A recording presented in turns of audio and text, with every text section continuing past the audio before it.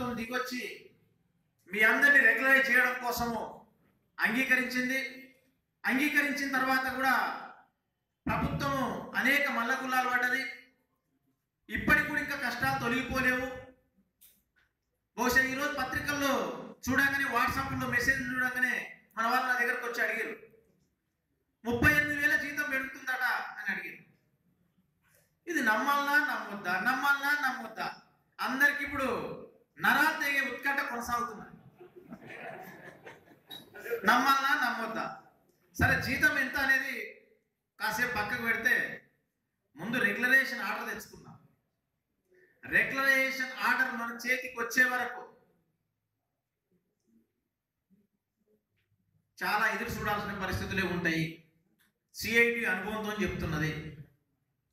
ఏమాత్రం ఏమర్పాటుగా ఉన్నా ఏమాత్రం ప్రభుత్వం యొక్క గుడ్డి మాటలు నమ్మినా రెగ్యులరేషన్ ఆర్డర్లో ఏ కండిషన్లు ఉంటాయో తెలియదు రెగ్యులరేషన్ ఆర్డర్ కండిషన్ చేతికి వచ్చే వరకు కూడా అనేక అనుమానాలు ఉన్నాయి.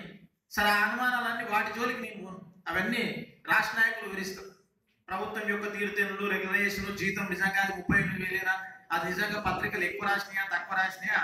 ఆ జర భోజనం చేస్తే మనకు కూడా రిలీఫ్ వస్తుంది కాబట్టి లంచ్ తర్వాత హైదరాబాద్ నుంచే ఫోన్ ద్వారా ఆ రూమ్ కన్ఫర్మ్ చేసిన. బహుశా మరి ఈరోజు పత్రికల్లో స్టేట్మెంట్ ఎఫెక్టా రాష్ట్ర ప్రధాన కార్యదర్శి వస్తుంది కాబట్టి అక్కడనే డౌట్లన్నీ క్లారిఫై చేసుకుందాం అనుకున్నారా?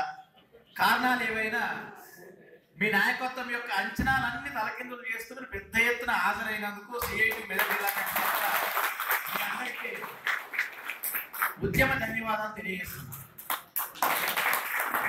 అసౌకర్యం ఉంది తప్పదు. రేపు సుఖాన్ని అనుభవించాలంటే ఈరోజు ఒక మూడు గంటలు కష్టాలు తప్పాయి. అయితే ఇప్పుడు మీకు ఉక్కపోత కానీ మీరు చెమటలు కారడం కానీ మీరు రోజు నట్టడవిలో పడుకొని నీళ్ళు లేక మాట్లాడే వాళ్ళు లేక పలకరించే వాళ్ళు లేక మూడు మూడు రోజులు రిలీవర్ రాకపోతే డైరెక్ట్ డ్యూటీలు చేసి బోర్లు ఫెయిల్ అయితే అదే చెమట వాసనతో నన్ను కూర్చున్న దాంతో పోలిస్తే ఇది మీకు ఏం పెద్ద కష్టం కాదు. లేదు ఇంకొక నాలుగు సంవత్సరాలు ఎక్కకపోతే కాంట్రాక్టర్లు జీతాలు ఇయ్యక తిప్పి తిప్పి తిప్పి అప్పులు చేసుకొని కుటుంబాలు గడవలేక మీ డబ్బులన్నీ కట్ చేసుకొని రిటర్న్ దోసుకుంటే వాళ్ళు దోసుకున్న దానితో పోలిస్తే మీ వేదికలతో పోలిస్తే ఈ కష్టమే పెద్ద కష్టమైంది కాదు ఇప్పుడున్న ఒక్క పోత.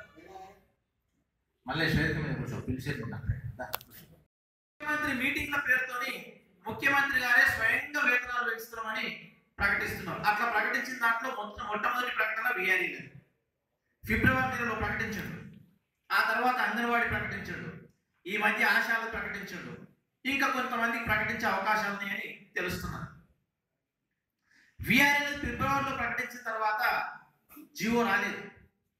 జియో బహుశా మొన్నేదో రిలీజ్ చేసారు ఏప్రిల్ ఒకటో తారీఖు నుంచి అమలు అంటున్నారు. నా దగ్గరికి మొన్న ఇద్దరు ముగ్గురు విఆర్ఎల్ సంఘాల నాయకులు వస్తే అన్న జీవో వచ్చింది కదా నెట్లో కాపీ ఉందా తీసిస్తావా? అంటే నేను రాష్ట్ర నాయకులు ఫోన్ చేసిన. వాళ్ళు రాష్ట్ర ప్రధాన కార్యదర్శి. ఫోన్ చేస్తే రాష్ట్ర ప్రధాన కార్యదర్శి చెప్పింది ఏంటంటే వాస్తవమే జియో తయారైంది. దాంట్లో చాలా లిటికేషన్స్ ఉన్నాయి. నిన్న మేము పోయి సంఘం తరఫున పోయి ఫైనాన్స్ డిపార్ట్మెంట్లకు చీఫ్ సెక్రటరీకి అభ్యంతరాలను తెలియజేసి వచ్చినాము. గతంలో విఆర్ఏలకు ప్రతి నెల ఒకటో తారీఖు నాడు జీతాలు వచ్చేవి. కిరణ్ కుమార్ రెడ్డి ముఖ్యమంత్రి దిగిపోతూ పోతూ అక్కడ ఒక కొరి వేసిపోయాడు విఆర్ఏలు. అంతకుముందు జీరో వన్ జీరో పది కింద నెల నెల వేతనాలు వచ్చేవి.